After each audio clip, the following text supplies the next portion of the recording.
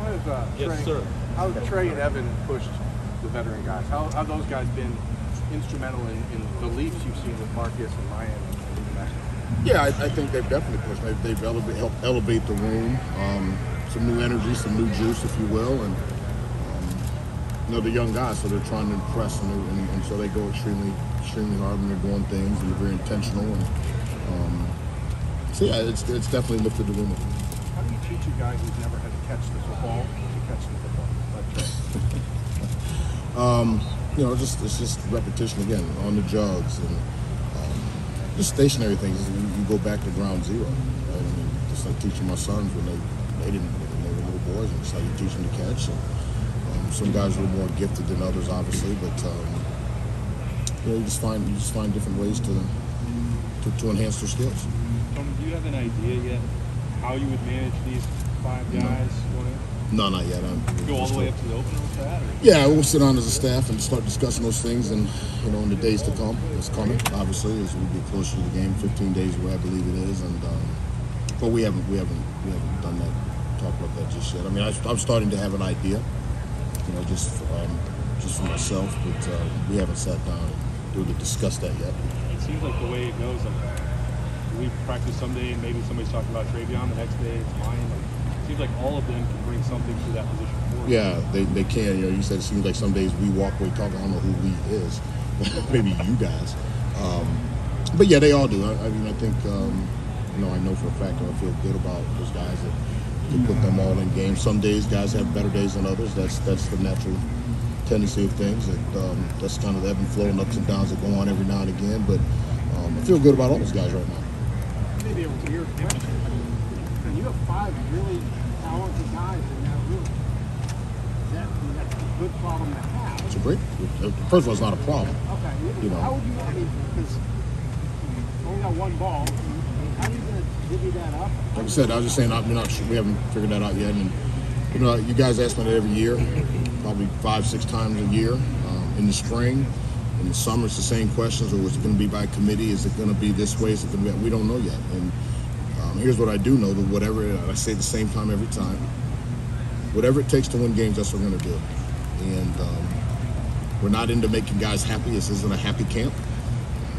And and um, like I said, we're going to do whatever we need to do to win football games, whatever that looks like. And we haven't come up to, we haven't come right now to the to the.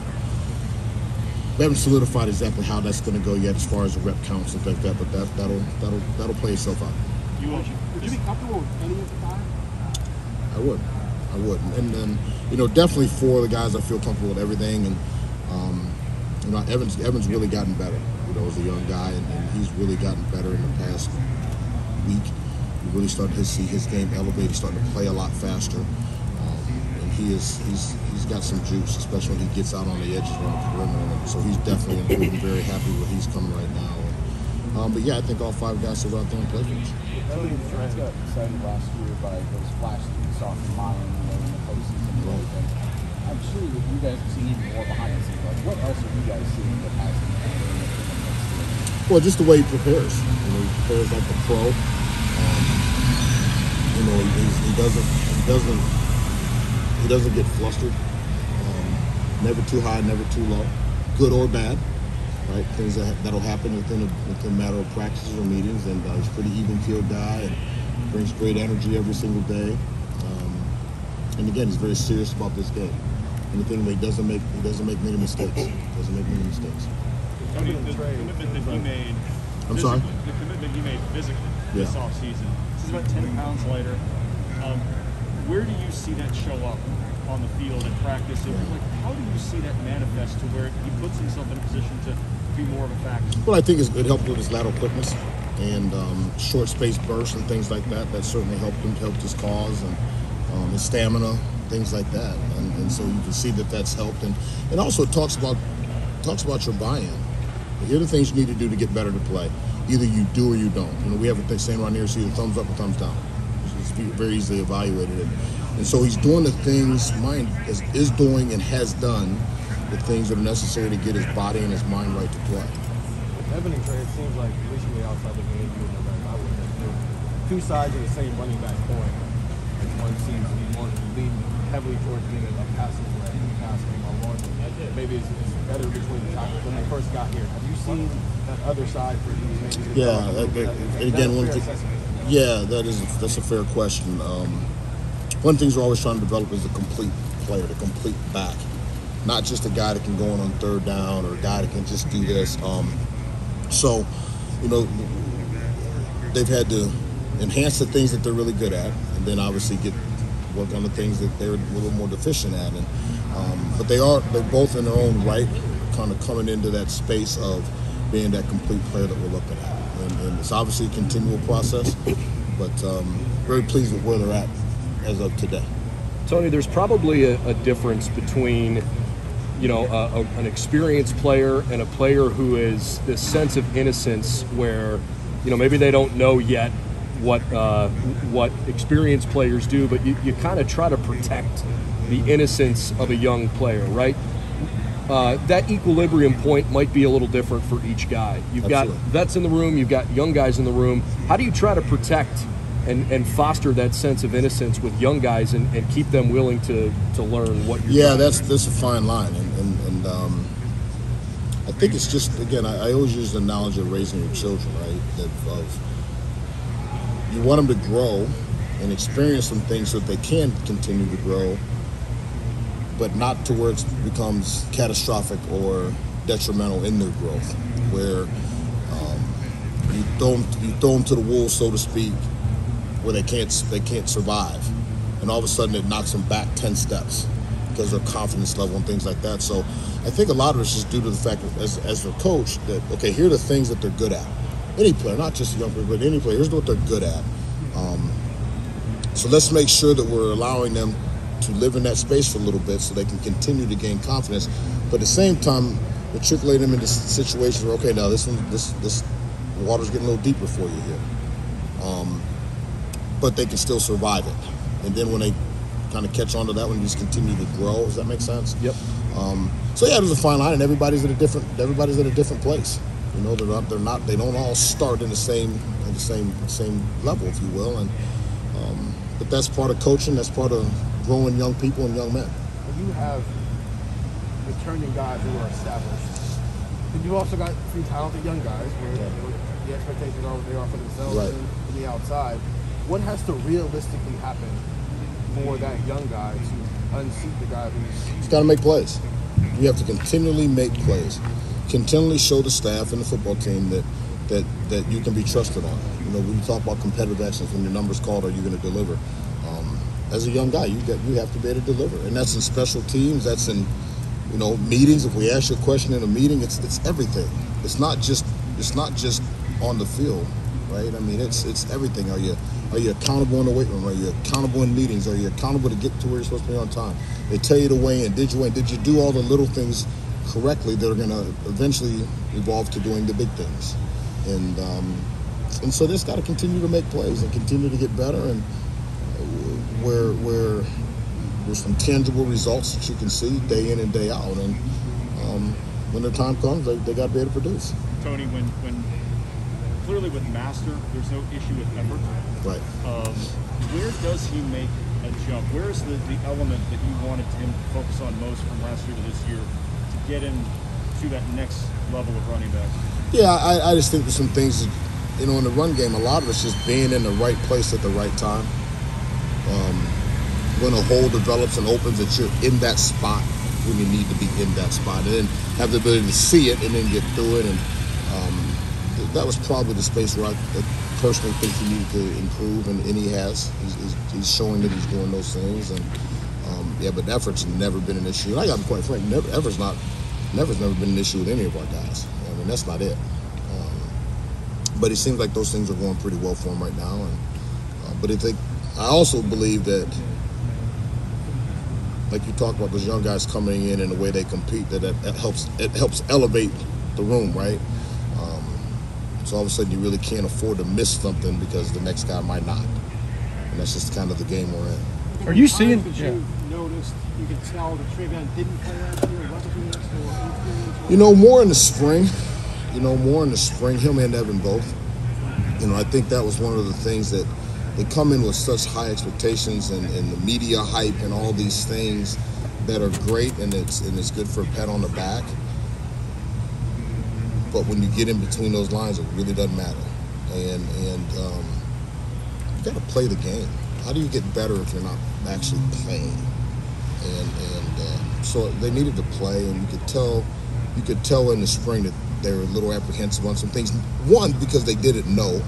Again, it's new new system and everything's new to them. But two, they hadn't played in a long time. And it's one thing to play seven on seven. It's one thing to go out and run drills and throw the ball with your buddies. It's no another issue to get 22 guys on the field and here we go.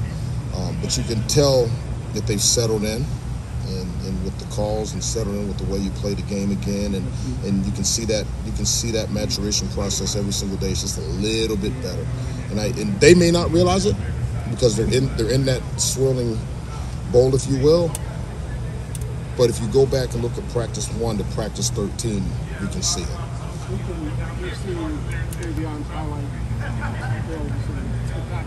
Has he done that kind of stuff here? We just gotta go, wow. Yeah, he's had a few. He's had a few of those wild moments, you know. And um, yeah, he has. He has. What would be fair expectations to support him as a freshman?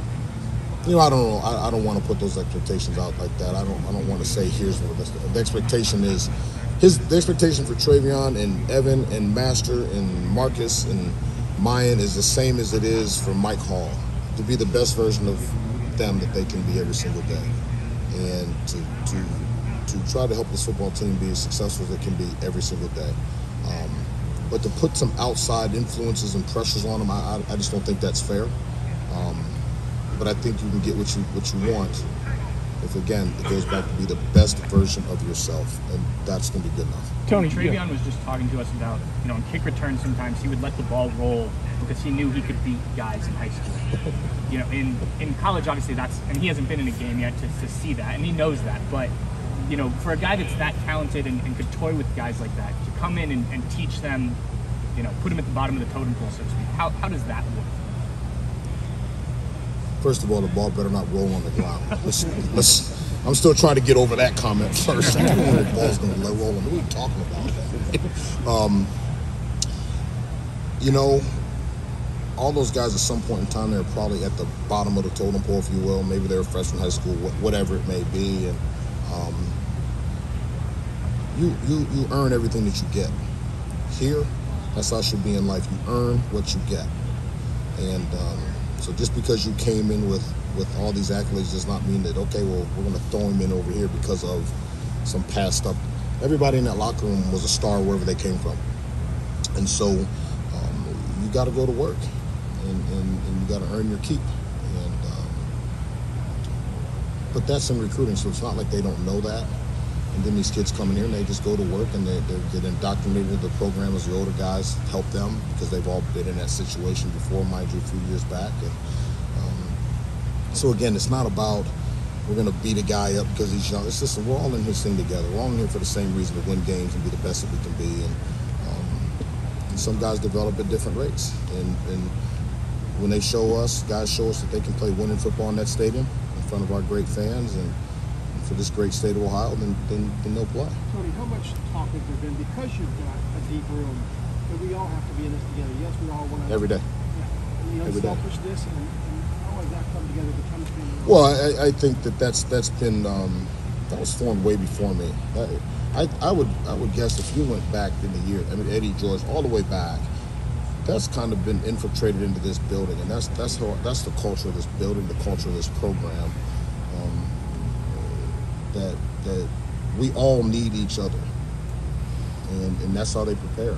You know, you got guys like Marcus Crowley that's helping young guys out. I watched Master Teague help Caden Saunders, a freshman walk on, you know, Cedric's son. And um, so those guys are always helping one another out. And, and sometimes intentionally, you know, I, I do want to be the bad cop, you know, where I can kind of say something and everybody else kind of jumps in to, to defend or help, you know, who, whoever. So, um, but that's the culture of this room. And I think it, it's a testament to, um, it's a testament to who these guys are as people it's a testament to how they've been raised as, as, as, their families have raised them, and, and it's a testament to our locker room. It's a testament to Ryan Day and, and, and the and the culture that he's that, that he wants in this program, and um, so yeah, I, I don't, I don't, in our in our room, I don't know it any other way.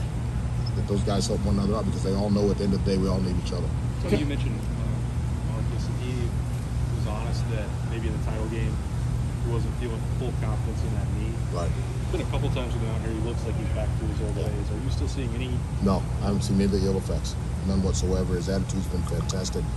You know, he's gained weight. He's gained the weight that we asked him to gain. Um, so Marcus has done everything that we've asked him to do on and off the field. What can? You know, he gets back to what he was doing as a freshman, what can that mean? Right, it means, it means a heck of a lot. I like to think of him. He's a good football player. You know, he showing, he had some flashes his freshman a couple years back. And um, again, we're going to need them all. It's a long year. You know, it's a long season, and it's a grueling season. It's a physical season. The way we practice is physical.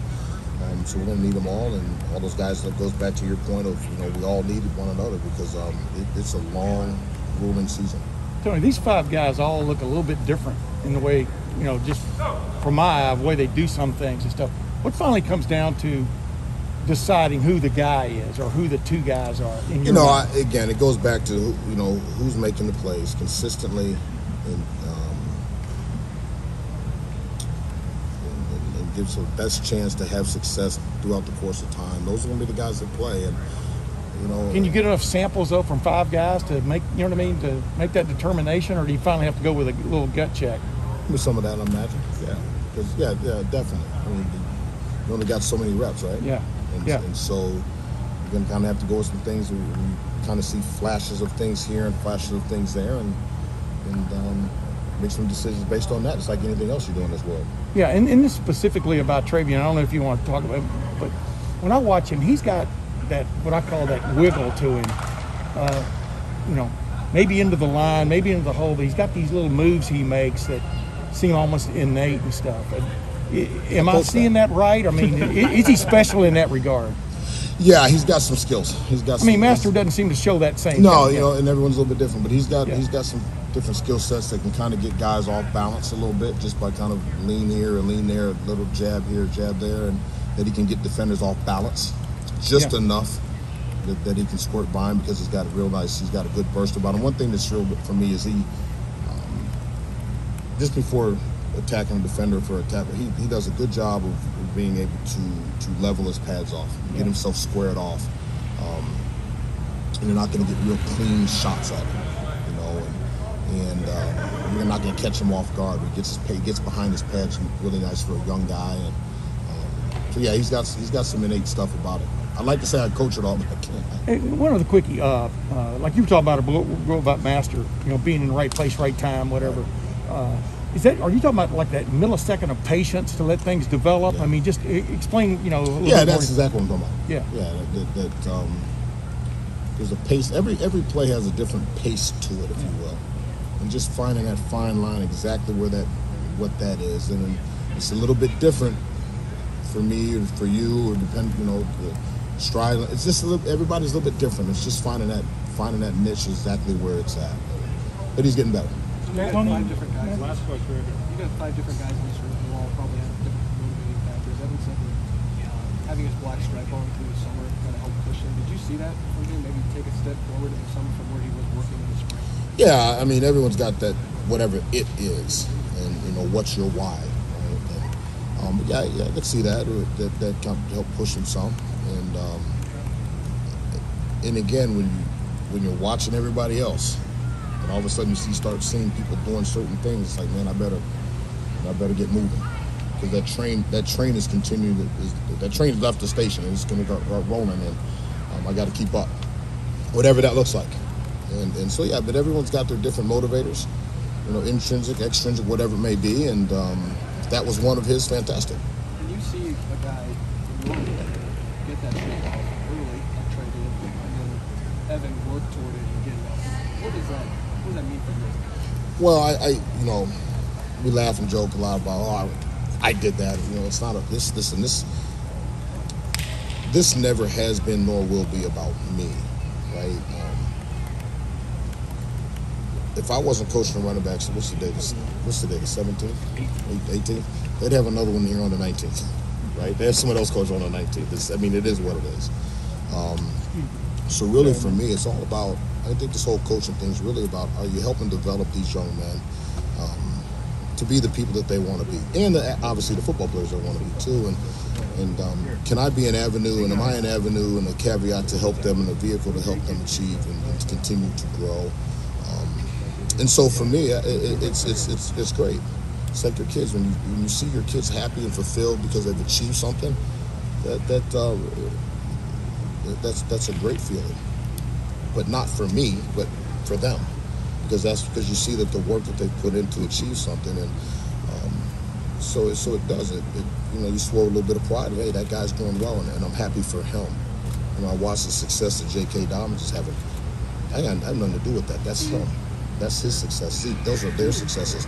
And I just happen to be one of the guys that I coach those guys, and I'm coaching Trey, and I'm coaching Evan, the master. So when they have successes, that's really a culmination of the work that they put in, and at least that's how I believe.